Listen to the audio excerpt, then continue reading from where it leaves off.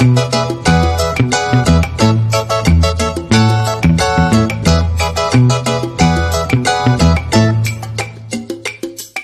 दोस्तों, परदेसी flight YouTube channel पर आप सभी का वेलकम है। दोस्तों, आज मैं आपके कुछ ज़रूरी सवालों के जवाब दूँगा जो आपने कमेंट बॉक्स में पूछे थे। हालाँकि मैं वहाँ पर उसका जवाब दे चुका हूँ, लेकिन इस वीडियो को बनाने का मकसद ये है कि जब मैं इस वीडियो में उन सवालों के जवाब दूँगा तो बात ज़्यादातर लोगों तक पहुँच जाएगी, अधिकतर लोगों तक पहुँच जाएगी। कुछ सवाल थे कि इंडिया से नए वीज़ा वाले डायरेक्ट कब ट्रेवल करेंगे या इसके अलावा दुबई से सऊदी के लिए बस से भी ट्रेवल कर सकते हैं क्या? या इसके अलावा और सवाल थे कि तवक्लना किन लोगों के लिए ज़रूरी है? साथ में ही और कुछ सवाल थे जिनका जवाब मैं दूँगा, लेकिन उससे पहले दोस्तों, आप सबसे एक छोटी सी अपील है, अगर आप फ़्लाइट और ट्रेवल की खबरों से लगातार जुड़े रहना चाहते हैं, खासतौर पर India, Saudi, Kuwait, Qatar, Oman, Bahrain, Dubai, या इसके अलावा और किसी देश की फ़्लाइट और ट्रेवल की ज़रूरी खबरें जो आपके काम के लायक हों, साथ में ही सऊदी अरब में एंट्री के लिए, या दुबई में, या बहरीन में, या कुवैत में, कतर में, ओमान में, वहाँ के लिए अभी क्या रिक्वायरमेंट है, क्या जरूरतें हैं वो सारी जानकारी आप चाहते हैं तो अभी परदेसी फ़्लाइट यूट्यूब चैनल को सब्सक्राइब कर लें और नोटिफिकेशन के लिए बेल आइकन का बटन ज़रूर दबाएँ, जिससे जब भी मैं कोई नई वीडियो अपलोड करूँ तो उसकी जानकारी आप तक सबसे पहले पहुँचे। तो पहला सवाल फरमान त्यागी जी का है। फरमान त्यागी जी पूछते हैं कि न्यू वर्क वीज़ा वालों के लिए इंडिया से सऊदी अरब के लिए डायरेक्ट फ़्लाइट कब चालू होगी? तो इस सवाल में मैं एक सवाल और जोड़ देता हूँ कि जो लोग सऊदी अरब से इंडिया में छुट्टी पर आए हुए हैं और कोविशील्ड वैक्सीन की दोनों डोज लगवा चुके हैं, उनके लिए डायरेक्ट फ़्लाइट कब चालू होगी? तो ये दो सवाल हो गए एक सवाल के अंतर्गत। तो ये दोस्तों, आज की तारीख में सबसे बड़ा सवाल है, लाख टके का सवाल है, बहुत ही महत्वपूर्ण सवाल है। लेकिन इस सवाल का जवाब किसी के पास नहीं है। क्योंकि फ़्लाइट खोलने और बंद करने का काम हुकूमतों का होता है, गवर्नमेंट का होता है, सरकार का होता है। आम पब्लिक इसमें कोई फैसला नहीं करती है, यूट्यूबर कोई फैसला नहीं करता है कि फ्लाइटें कब ओपन होगी, कब कब बंद होंगी। लेकिन जो वर्तमान के हालात होते हैं, जो कंडीशन होती है, जो सिचुएशन होते हैं, उसके हिसाब से हम और आप एक अनुमान लगा सकते हैं कि फ्लाइटें कब तक ओपन हो सकती हैं। तो अभी जो स्थिति है क्योंकि फ्लाइटें जो बंद हुई थी वो कोरोना की वजह से बंद हुई थी, आप सबको पता है। लेकिन आज की तारीख में सऊदी अरब में 88 नए केस निकले, यानी 88 नए केस निकले। आप कह सकते हैं कि सऊदी अरब में कोरोना दम तोड़ रहा है, वहाँ पर अंतिम साँसें गिन रहा है, लगभग विदाई की ओर है। जबकि इंडिया में अगर कोरोना के नए केस की बात करें तो यहाँ पर सत्ताईस हज़ार के आसपास केस निकले। यहाँ पर भी लगातार गिरावट जारी है तो ये एक प्लस पॉइंट हो गया। और दूसरी बात, सऊदी हुकूमत ने एग्जिट री एंट्री वीज़ा यानी छुट्टी पेपर और इकामा को बढ़ाने का फैसला किया है तीस नवंबर तक। हालाँकि अभी बढ़ा है लोगों का सिर्फ़ तीस सितंबर तक, लेकिन आने वाले दिनों में तीस नवंबर तक बढ़ जाएगा। ये दूसरा प्लस पॉइंट हो गया। और तीसरी बात सऊदी के जो पड़ोसी मुल्क हैं, या जो गल्फ कंट्री के और देश हैं, चाहे बहरीन हो, या दुबई हो, ओमान हो, इसके अलावा कतर हो, या फिर कुवैत हो, इन सारे लोगों ने, इन सारे देशों ने फ़्लाइट ओपन कर दी है। या सऊदी अरब ने एक चीज़ और की है कि सऊदी अरब ने जो अनबैंड कंट्री से जो लोग ट्रेवल कर रहे हैं, अगर वो अनवैक्सीनेटेड हैं तो उन्हें सात दिन के बजाय, अब पाँच दिन ही क्वारंटीन रहना होगा। इसके अलावा सऊदी हुकूमत ने पर डे, यानी हर दिन उम्र के लिए जो लिमिट है, उसको सत्तर हज़ार कर दी है साथ में इंडिया से सऊदी अरब ने उन लोगों को डायरेक्ट रोल करने की परमिशन दी हुई है, जो लोग सऊदी अरब से ही वैक्सीन की दोनों डोज लगवा कर इंडिया में छुट्टी पर आए हुए हैं। तो ये इतनी सारी चीज़ें हो रही हैं, हो चुकी हैं।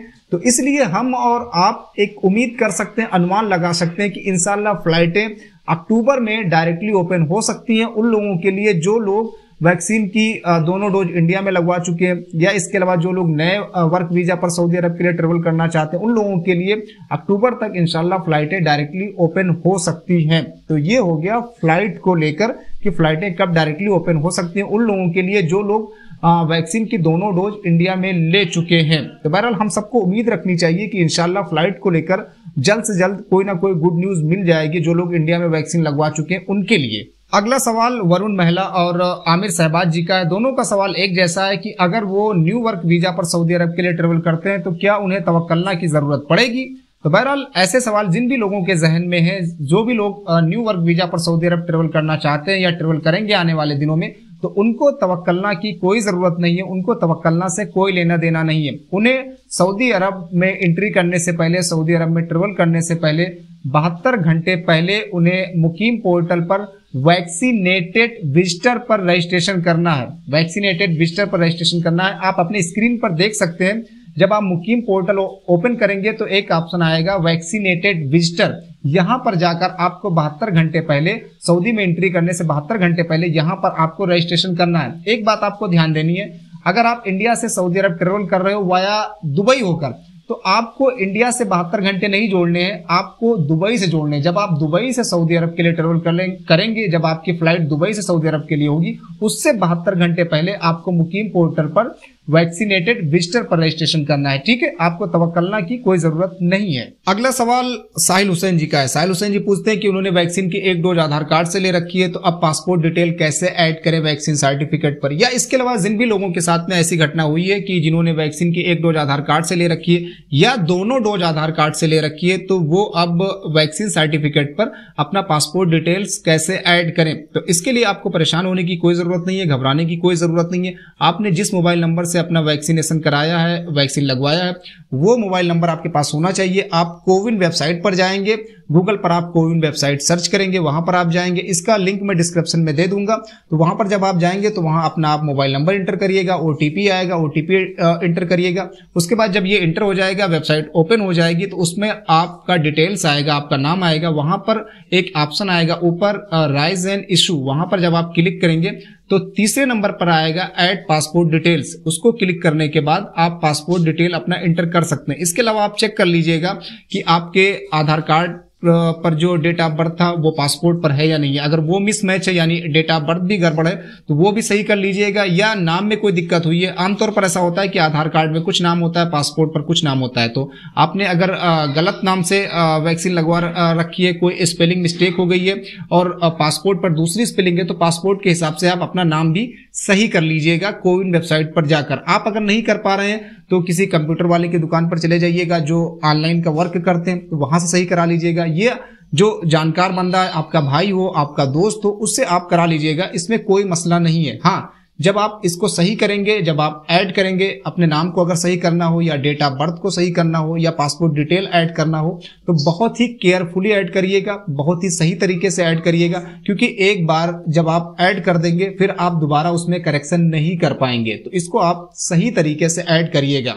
एक और हमारे वीवर हैं एच डीजे उन्होंने कहा है कि एजेंट लोग बोल रहे हैं कि दुबई से सऊदी अरब बस से भेजा जाएगा। तो बहरहाल, बस से जाना कोई ज़रूरी नहीं है कि आप बस से जाएँगे। बस से इसलिए कहा जा रहा है क्योंकि फ्लाइटें महँगी चल रही हैं, इसलिए अधिकतर एजेंट बस का पैकेज भी दे रहे हैं। तो अगर आप बस से जाने का फैसला करते हैं तो जो फ़्लाइट का पैकेज होगा, उससे बस का पैकेज दस हज़ार सस्ता है। या इसके अलावा अगर आप होटल के बजाय अपार्टमेंट या रूम में रुकने का फैसला करते हैं तो वो भी होटल से दस हज़ार सस्ता पड़ेगा। तो ये फैसला आपके हाथ में है कि आप दुबई से सऊदी अरब बस से जाएँगे या फ़्लाइट से जाएँगे। तो बहरहाल, आप फैसला कर सकते हैं कि आप किससे जाएँगे। जो लोग छुट्टी पर आए हुए थे, वाया दुबई होकर सऊदी अरब जा रहे हैं तो वो तो बस से जा सकते हैं, लेकिन जो लोग न्यू वर्क वीज़ा वाले हैं, वो लोग दुबई से सऊदी अरब बस से ट्रेवल नहीं कर सकते हैं। उनको फ़्लाइट से ही जाना पड़ेगा। तो ये आप फैसला करिएगा कि आपको दुबई से सऊदी अरब बस से जाना है या फ़्लाइट से जाना है। अलग अलग पैकेज के अलग अलग रेट हैं। होटल पैकेज का कुछ और है, रूम पैकेज का कुछ और है, बस का पैकेज कुछ और है, इसके अलावा फ़्लाइट का पैकेज कुछ और है। तो आप अपने हिसाब से देख लेना कि आपको कौन सा सिटेबल है, कौन सा आपके लिए सही रहेगा, कौन सा थोड़ा सस्ता पड़ेगा। अगर आपके पास जैसा बजट हो, उस हिसाब से आप पैकेज लीजिएगा। तो ये हो गया दोस्तों आपके कुछ सवालों के जवाब। बहरहाल दोस्तों, इस वीडियो में इतना ही। आगे कोई अपडेट होगा फ़्लाइट और ट्रेवल को लेकर, खास तौर पर सऊदी अरब को लेकर तो वो आप तक पहुंचाई जाएगी। इसके लिए आप परदेसी फ़्लाइट यूट्यूब चैनल को सब्सक्राइब कर लें। मिलेंगे नेक्स्ट वीडियो में। तब तक आप अपना ख्याल रखिए, खुश रहिए। Good bye.